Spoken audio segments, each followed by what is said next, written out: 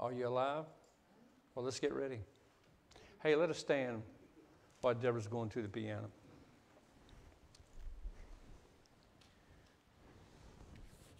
How many knows that Jesus is alive? How many knows the importance of that? We're going to find out this morning how important it was that Jesus Christ be resurrected, especially in the uh, second part of the service.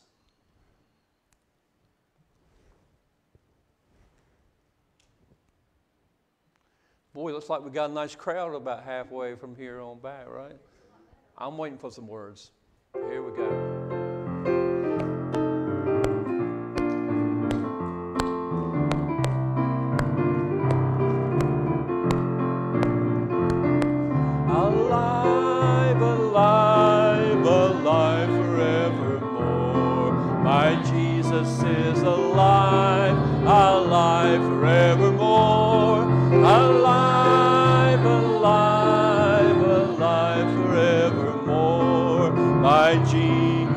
Jesus is alive.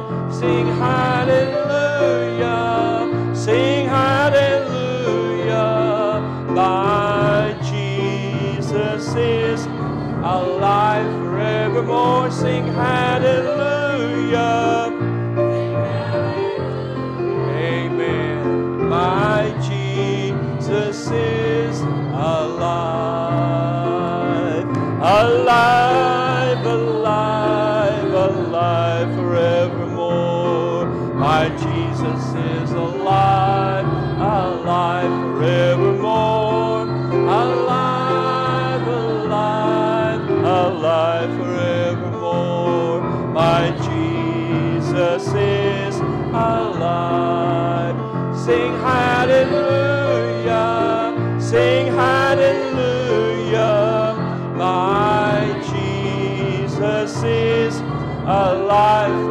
Forevermore. Sing hallelujah, sing hallelujah. Jesus is alive. One more time. Alive forevermore. Jesus is alive,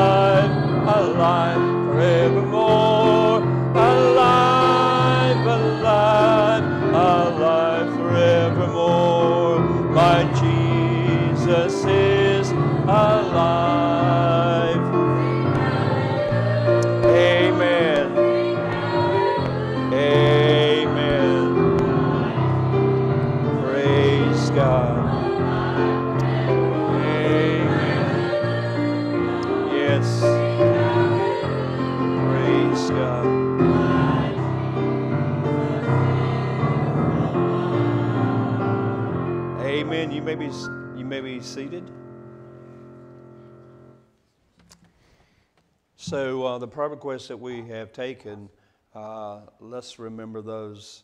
Uh, well, we have this part of the service. Just take those people in our mind and our heart and our spirit, and let's be praying. Turn, um, turn in your Bibles to the Gospel according to St. Luke, chapter 24, verse 6.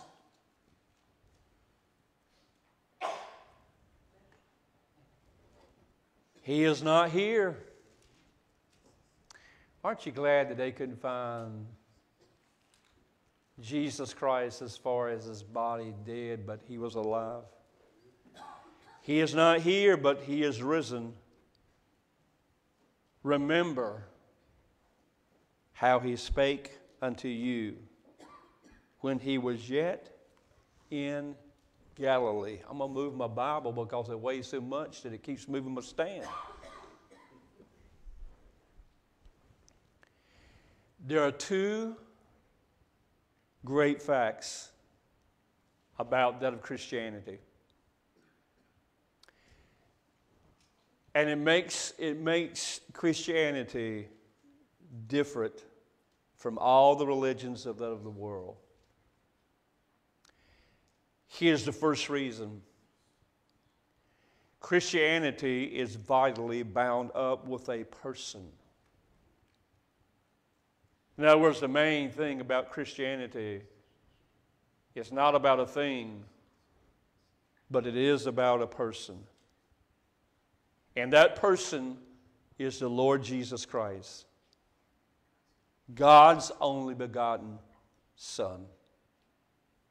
He was born of that of a virgin. He lived a sinless life.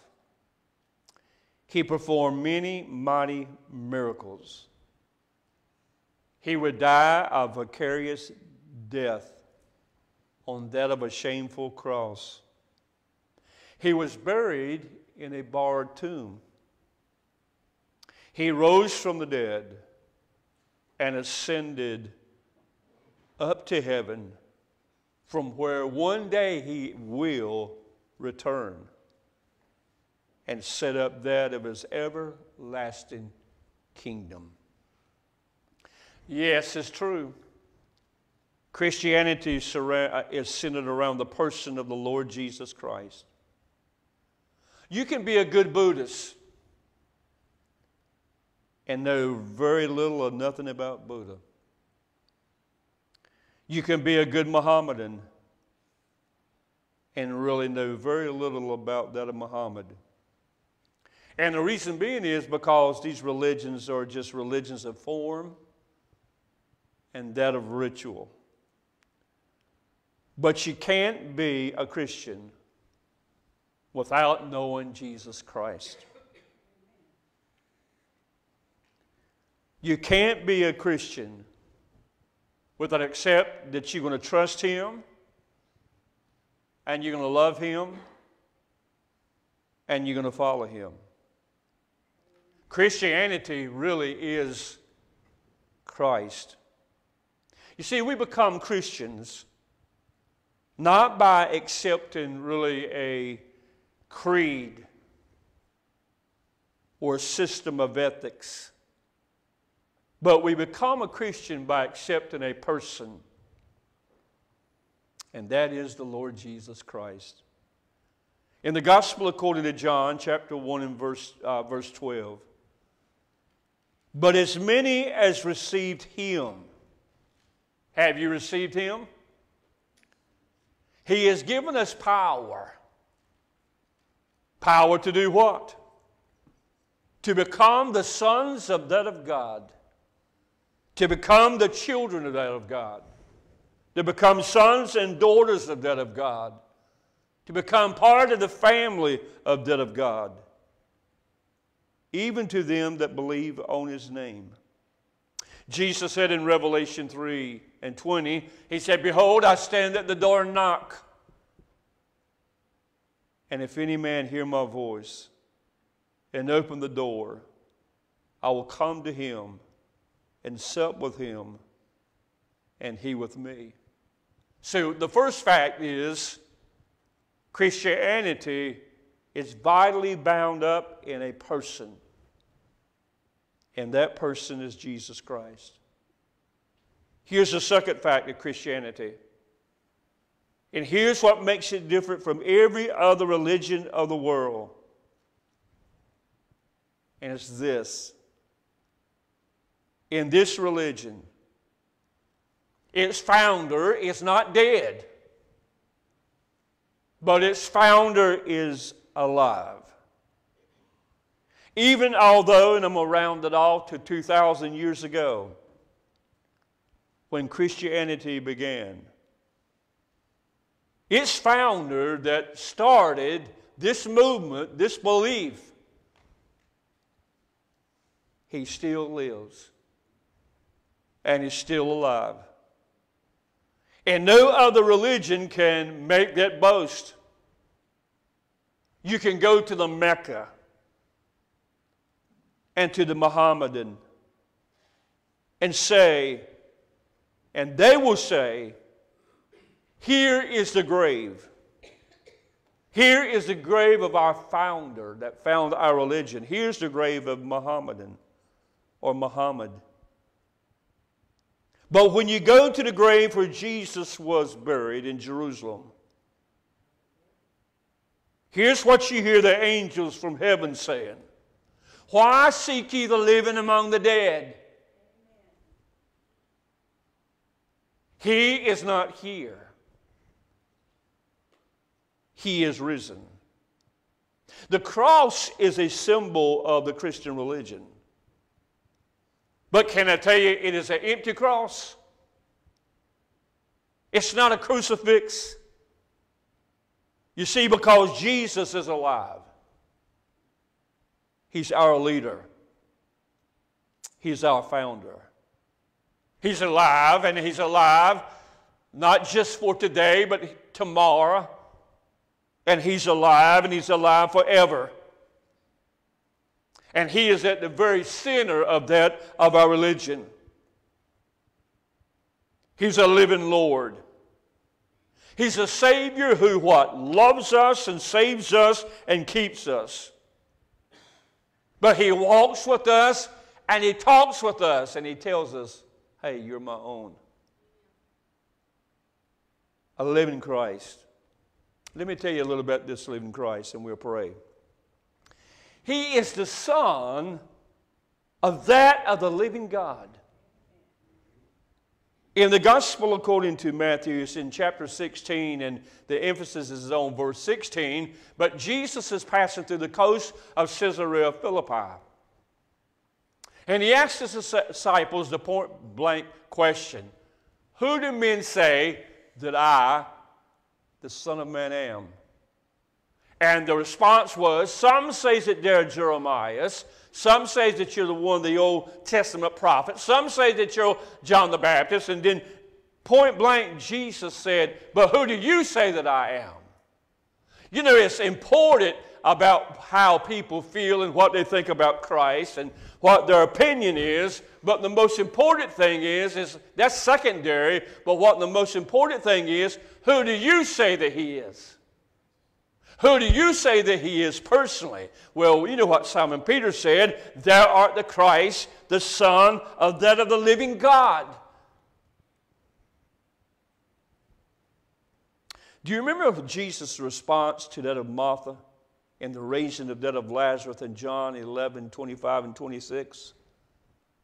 Jesus has delayed his coming about the sickness of that of Lazarus and he tarries long where he's at.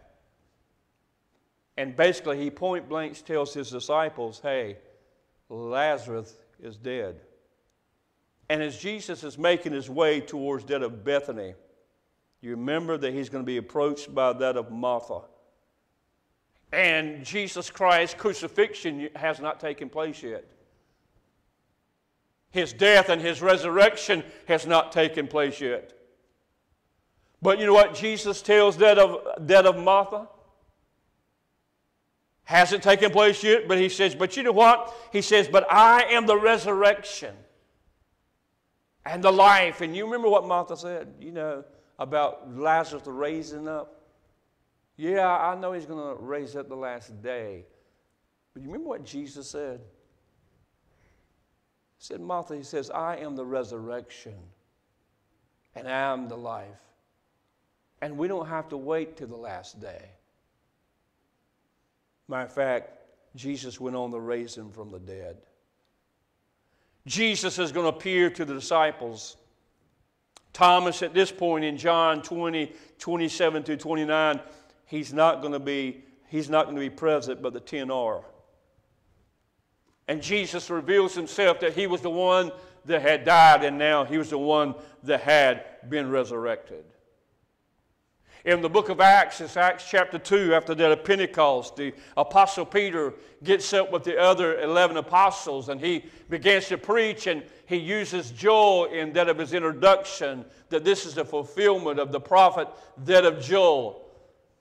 And one of the main, main, main points of, that, of his sermon was the fourth point, but he tells his listeners that Jesus Christ, his death and his resurrection proves that he is, that he is, he is Christ and that he is the Lord. Then later, the Apostle Peter would go to the house of Cornelius in that of Acts chapter 10 in verses 39 through 40, and he would begin to tell that of Cornelius, a centurion a Gentile, and his family. He would proclaim that of Jesus, that he went around doing that that was good, doing good works, and that he was the Son of God, and that of his death and resurrection. Do you know this morning that if we're saved, did you know if we experience salvation in our heart and our life, it's, it's based basically on the foundation of the belief in the resurrection. It's Romans 10 and 9 that if thou shalt confess with thy mouth the Lord Jesus and believe in thy heart that God has raised him from the dead, thou shalt be saved. I believe in the name this morning of Jesus. I believe that his name is a name that's above every name. I believe in his death. I believe in his resurrection. And then Paul will go on and say, And whosoever calleth upon the name of the Lord shall be saved. You know what, y'all? We're saved this morning because we believe in His name. We believe in His death. We believe in His resurrection. We believe that He's real. We believe that He's alive. And He's alive forevermore. And He's the blessed Son of that of God in whom we believe. Sister Betty Jean, Sister Vicky was myself were talking about some of the things that we're seeing today that we never thought we would believe to see it. We didn't believe it, Betty Jean, but one thing about it is we do believe in Jesus because he is the living Son of that of God. And within this living Savior, just let me just make mention of two or three things. He is the living water. This living Son of God he is the living water. And you know what this living water does? It satisfies. It's in John 4 and it's in verse 14 that Jesus has gone and sat down at Jacob's well. And there's a woman that comes there at midday. And she comes to draw water. And this woman's life has been totally messed up. She's been married time and time and time and time again. And seems like she can't be satisfied. But Jesus said to her, But whosoever drinketh of the water that I shall give him shall never thirst. But the water that I shall give him shall be in him a well springing up into everlasting life. How many of you experienced that in your heart, in your life, by believing on the name of that of Jesus Christ, of his death, and that of his resurrection, that you have accepted him? Don't you feel that living water springing up within you? In other words, when you found that of Jesus, you were looking something or someone to bring satisfaction, and when you found him, you found that living water that what? Quenched your spiritual thirst of your heart and that of your soul. You remember what David said about the great shepherd and that great shepherd being Jesus in, in Psalm 23, 1 and 2? The Lord is my shepherd, I shall not want. He maketh me what? To lie down in green pastures, he leadeth me beside the still waters. In other words, my shepherd, that great shepherd, satisfies that of my thirst, of my physical, and that of my spiritual thirst. Jesus in John 7 37 and 38 he's going to make reference to this of the coming of the Holy Ghost. But he stood, stands up the last day of the feast and says, You know what? If any man thirst, you know what? We got a lot of people, thirsty people in this world, and they're drinking from a lot of things, but they're not satisfied. But Jesus said, and he stands up, that if any man thirst, let him come unto me, and out of his innermost being, out of his belly shall flow rivers of that of living water. Even in Revelation 22, 1 and 17, the last few parts, uh, the last few parts of the, uh, the book of Revelation, those verses, those last one or two chapters, God is going to make all things new. And one of the new things is going to be the new paradise and the river of that of the water of life flowing from that of the throne of God. Why? Because He is the living water. He's the one that's alive. He's the one who satisfies us.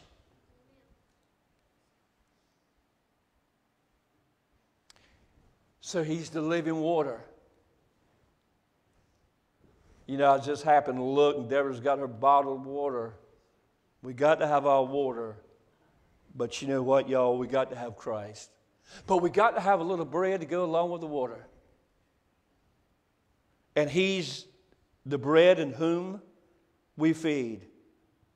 In John 6 and 57, as the living Father has sent me, and I live by the Father, so he that eateth me, even he shall live by me. You remember what the psalmist said, 34 and 8 of Psalm? Oh, taste! Oh, taste and see that the Lord is good. Blessed is the man who trusteth in him. In the temptation of that of Jesus in, in Matthew 4 1 through 4, Satan is putting Christ to the test and trying him. And you remember what he said? Jesus has fasted for 40 days and for 40 nights, and he's hungry. He's divine, but yet he's human. And he's hungry. And the devil said, You know what? If you be the Son of God, command the stones to be made bread. And Jesus comes back and says, You know what? It is written, Man shall not live by bread alone, but by every word that proceedeth out of the mouth of God. Jesus is the living Son of God. He's the living water who satisfies us. He's the Son of God in whom we believe. He's the living bread in whom we feed. But He's also this He's the living stone on whom we build. Peter said this in 1, 1 Peter 2 and 4 To whom coming as into a living or a living stone, disallowed indeed of that of man, but chosen of that of God, and precious. You see, Jesus Christ, a living stone, is kind of different to different people that believe or don't believe. You know what he was to Israel? When he came on the scene, you know what he was? He was a stumbling stone. He was a rock of that of offense. In other words, what he believed and what he taught made the nation, made the Jews to stumble. But you know what he is to the church? He is the foundational stone. In other words, the church has been built upon him. You know, I think about this church here. This church has been here a very long time. I think somewhere around 100 and 120, well, Renee said 120 years. They're about 115, 120 years. And do you know why this church, I really believe with all my heart, has been here as long as it has? Because it is part of the church. This is a church that we got believers that is part of the church. But this church has stood. And I believe it stood because it was built on a good, strong foundation. And not only that of a local, that of a church and a community, but as you, as part of the body of Christ and members of the church, you don't have to worry about falling and failing if you're, if you're built upon that of the foundational stone. And by the way, to the Gentile world system, this same stone, this same rock, where it means different things to different people, is going to one day destroy this Gentile world system.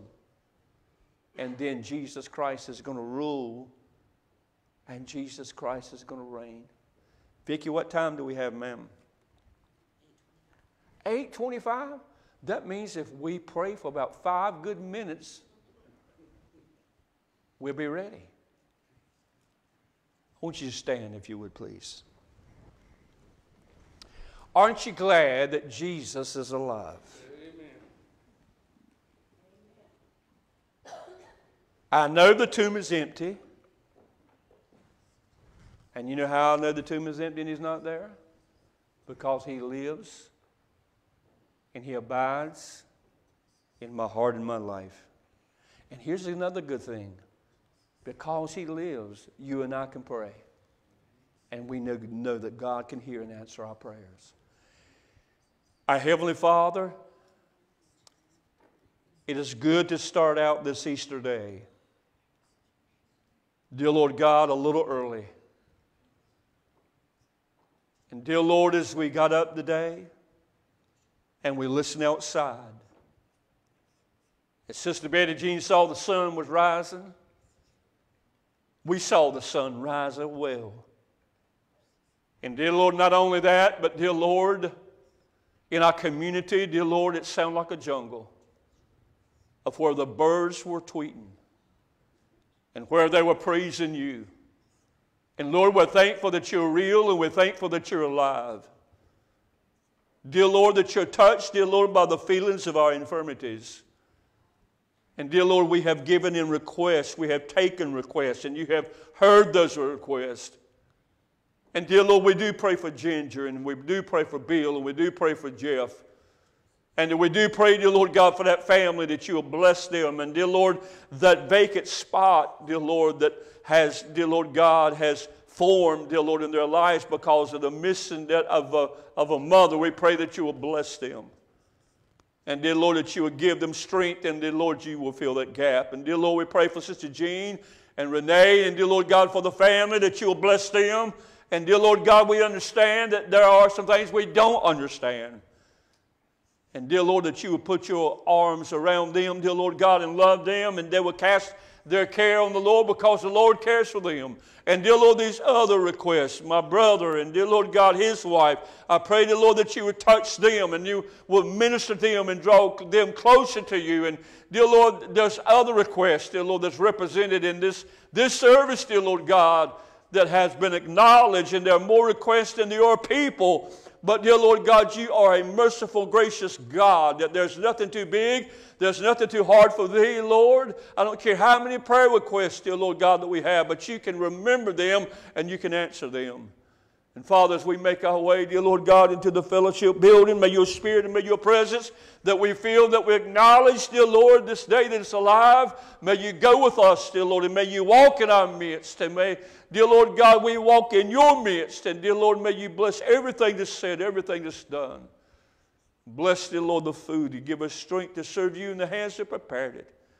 And all say amen. Amen. All right, you got you, you got you, you got the word what to do in here and what to do in yonder.